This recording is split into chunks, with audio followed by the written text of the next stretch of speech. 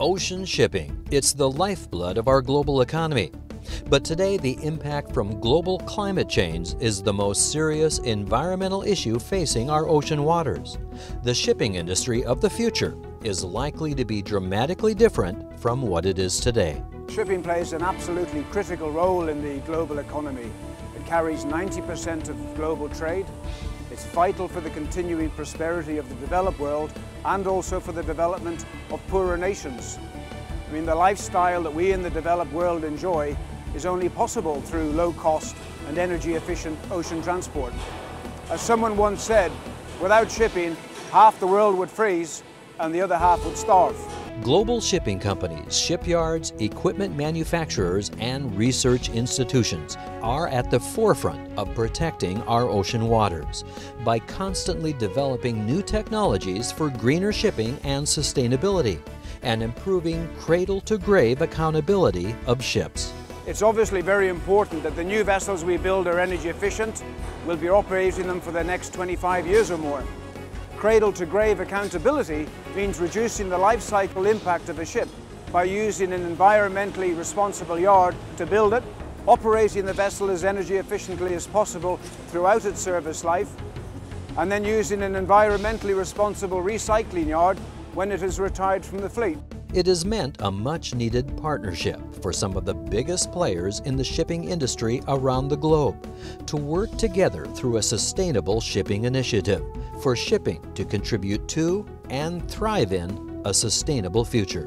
As members of the Sustainable Shipping Initiative, we at Gearbulk share a vision for 2040 in which success equals sustainability. It will mean changing to a much more diverse mix of energy sources. We must use resources more efficiently and responsibly in order to dramatically reduce greenhouse gas intensity. We also need to drive forward the development, the testing and take up of innovative new technology for both new ships like this one and also retrofitting of existing ships. Being a sustainable steward of the seas is especially important to the international shipping company called Gearbulk. As the world's largest carrier of aluminum products, Gearbulk's fleet of open hatch vessels with box shaped holds is also the largest global carrier of wood pulp, as well as carrying other forestry products, steel, and many more commodities.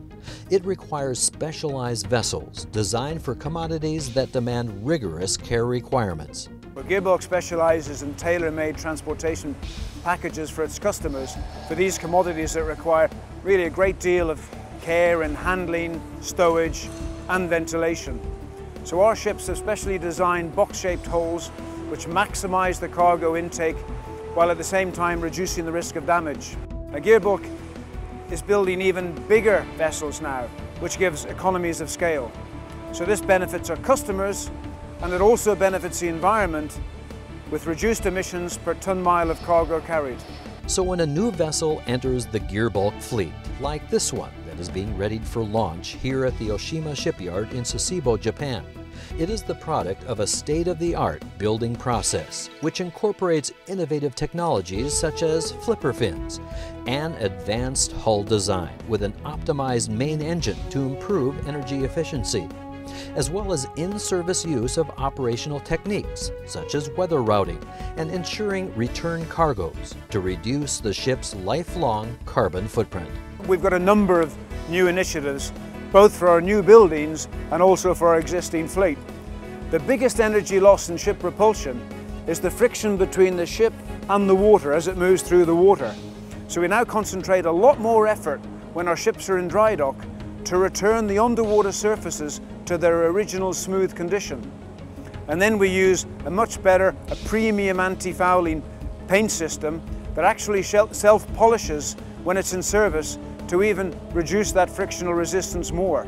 The ship you see behind us today has a carbon footprint per ton mile of cargo of about 40% less than the ships that it is replacing. And our next series of ships which will be coming into service from the end of next year will actually approach 50%. Gearbulk strives for cradle-to-grave accountability, which involves using a technically advanced green shipyard like Oshima for the construction of its new ships. Known for its keen interest in recycling, energy savings, solar power generation, and future concept vessel designs, which might give 30% energy savings from current designs, Oshima Shipyard even plants its own olive trees and tends to its very own tomato farm. It's all part of being a true shipping steward of the environment. The symbol of our green, so all of our employees plant uh, every year, uh, and the tomato is uh, the symbol of the co-existence and the co-prosperity with the regional community to our company. We're absolutely convinced that taking a sustainable approach to our business in the future, it's the only way to go. But we can only do this by teaming up with other like-minded companies such as Oshima who share the same vision. So at Gearbulk, we think we've made a good start and we hope that others will join us on this journey to put sustainability at the heart of our industry. Gearbulk and Oshima Shipyard share this vision for a sustainable shipping industry, and their newest ship is as much a vessel to protect the Earth's environment as it is a cargo ship to support our global economy.